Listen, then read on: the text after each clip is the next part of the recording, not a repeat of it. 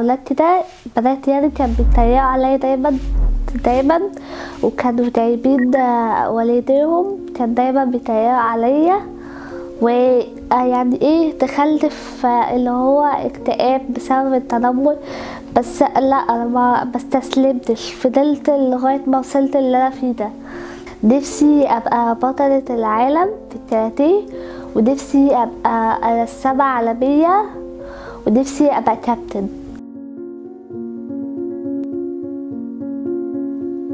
أميرة عصام سفيرة الأمل والسلام العالمي لاعبة كاراتيه وفنانة تشكيلية.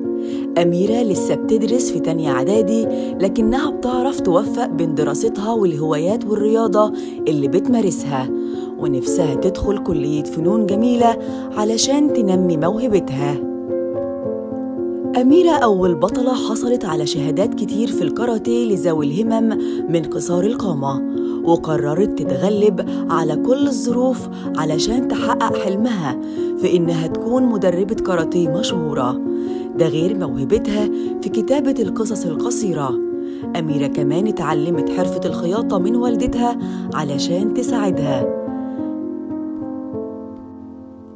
ده غير إنها رحالة بتحب تسافر كل الأماكن داخل مصر لكنها بتلف تلف وترجع شبرا وسط أهلها. أميرة النهاردة ضيفة حلقتنا وبطلة حكايتنا. ضيفة حلقتنا النهاردة وبطلة حكايتنا هي أميرة عصام أميرة مجموعة من المواهب المتنقلة رحالة ورسامة ولاعبة كاراتيه. أهلا بك يا أميرة. أهلا وسهلا. وكمان معانا والدتها الأستاذة غادة. أهلا بحضرتك معانا. أهلا وسهلا بحضرتك. آه، أميرة أنت مجموعة مواهب. قولي لنا أكتر حاجة بتحبيها إيه في مواهبك دي؟ الكاراتيه اللي حببني ان أنا لما شفتها آه، يعني عجبتني صراحة تأدية تيتا آه، تبقى حاجة حلوة فأنا عجبتني إن أنا ألعبها. نفسي أبقى بطلة العالم في الكاراتيه ونفسي أبقى رسامة عالمية ونفسي أبقى كابتن أميرة أنت السنة دي في سنة تانية إعدادي وعرفنا إن أنت متفوقة. قولي لنا إزاي بقى بتقدري تجمعي بين دراستك من ناحية وبين ممارستك لهواياتك المتنوعة من ناحية تانية؟ بنظم وقتي ب... ب... يعني بخلي ال- الرسم في وقت وفي الكاراتيه في وقت.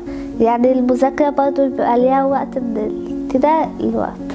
بذاكر حوالي ثلاث مرات في اليوم. الس... يعني من الساعات يعني مثلا من الساعة سبعة للساعة عشرة. قولي لنا بقى لما تكبري تحبي تخشي كلية إيه؟ آه عايزة أخش كليتين. كلية فنون جميلة وكلية آه، إن أنا أبقى مثلا مدرسة إنجليزي يعني. المواقف الصعبة اللي مريتي بيها الخاصة بالتنمر احكي لنا المواقف اللي حصلت معاكي من النوع ده. آم، آه، عيال يعني أولاد كده بنات يعني كان بيتريقوا عليا دايما دايما وكانوا جايبين آه، والديهم كان دايما بيتريقوا عليا. ويعني إيه تخلف آه، اللي هو اكتئاب بسبب التنمر. بس لا أنا ما بستسلمتش. فضلت لغاية ما وصلت اللي أنا فيه ده. موقف كان مرة في المدرسة كنت نازلة آه، الفصلي آه، عيال آه، كده اتنمروا عليا وقفل عليا الباب في الفصل. وبس أنا زعلت شوية فإيه ضربتهم يعني. فرحت طلعت الفصل فرحت قلت للمديرة. وعملت لهم عقوبة. استخدمتي بقى مهارتك في لعب الكاراتيه وفي إن انت تردي على الناس اللي بتضايقك؟ يعني ساعات اللي بيضايقني شوية بضرب يعني عادي. مدام غادة قولي لنا المواقف الصعبة آه، اللي عدت على أميرة من وجهة نظرك. هو أكتر موقف حصل ان ولي أمر اتنمر على أميرة في الفصل. هو ده أكتر موقف آه، ضايقها هو ده اللي عمل لها الاكتئاب. حضرتك كان رد فعلك إيه؟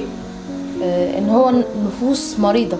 يعني يوم التنمر دوت أنا قلت لها لا إحنا ما نستسلمش وما ينفعش ما نخرجش من البيت إحنا أحسن من غيرنا هم هم مرضى. الناس اللي بيتنمروا دول مرضى وما يقدروش يعملوا اللي انت بتعمليه. مدام غادة أميرة من قصار القامة وكمان عندها مشكلة سمعية آه، هل المشكلة دي لها علاقة بإنها من قصار القامة؟ آه هي عشان طبعا آه، طبلة الودن أو الجزء بتاع الودن ده ما بيكبرش زي الطبيعي فطبعا بي- بيجي مية ورا طبلة الودن. فإحنا عملنا عملنا عملية شفط وتركيب أنبوبة بس ما نفعتش معاها. لأن هي طبعا برضو آه، سقف الحلق مش مظبوط عندها. فبالتالي المية أو الحاجة اللي بتيجي في المناخير فبتوصل للودان يعني. فدايما هي عندها مية ورا طبلة الودن فمأثرة على السمع شوية. أميرة عشان نجاحاتك الكتيرة ديت وبطولاتك اللي بنتمنى إن هي تزيد آه، معانا هدية مقدمة ليكي من شركة البروج مصر. الراعية للبرنامج آه، هيقدمها لك الأستاذ سامر حامد رئيس قطاع خدمة العملاء بالشركة. إزيك يا أميرة؟ عاملة إيه؟ الحمد لله. الحمد لله. أنا مبسوط منك جدا جدا. وإن شاء الله بإذن الله تحققي كل اللي نفسك فيه وتبقي بطلة العالم كله في الكاراتيه. وعايزك تخلي بالك من دروسك كده وتبقي مجتهدة وتعملي كل اللي تحققي كل اللي نفسك فيه إن شاء الله. بالتوفيق بإذن الله. شكرا. شكرا. افتحي بقى افتحيها.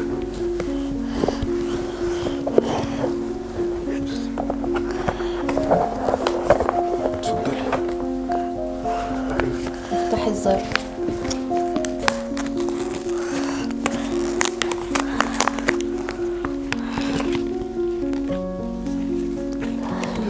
شكرا. قولي له شكرا. قولي له أنا متشكرة من. حضرتك